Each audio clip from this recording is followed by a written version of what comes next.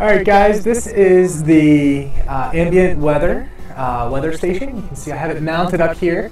Um, just now getting into the shade, but uh, we've got some nice uh, nice motion. We've got it oriented so it is facing north.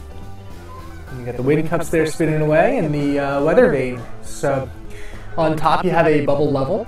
So it's best if you can get above it in order to check to make sure that everything's lining up.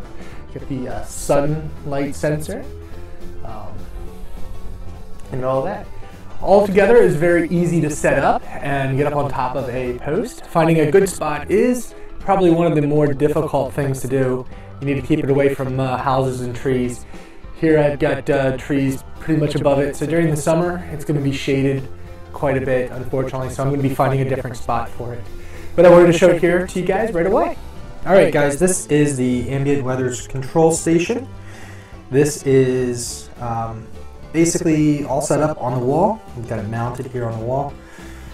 We've got uh, pretty much every feature that you can want for or look for. You got your UVI, you got your light sensor, you got your wind. You can cycle through different types of gust or direction, what is currently going. You your rain sensor, and you can uh, run through different like rates or events or the day, week or month even, where total rainfall since you turned it on.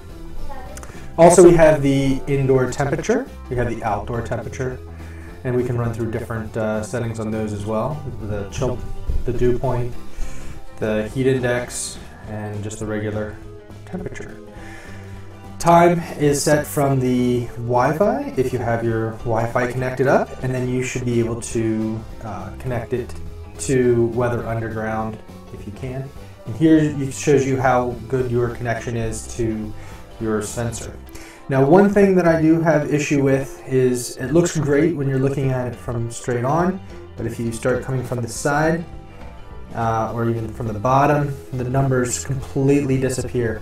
So you really have to, to be able to look at it from um, the perfect angle, more or less. But as soon as you get at an angle, the uh, numbers completely disappear. All right, guys. If you uh, if you're looking for a nice uh, new weather personal weather station, this is uh, probably going to be it.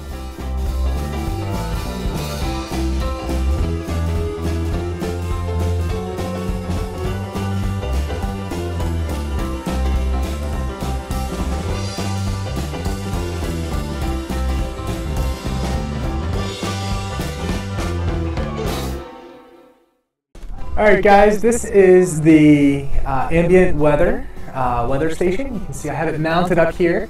Um, just now getting into the shade, but uh, we've got some nice uh, nice motion. We've got it oriented so it is facing north. You got the wind cups there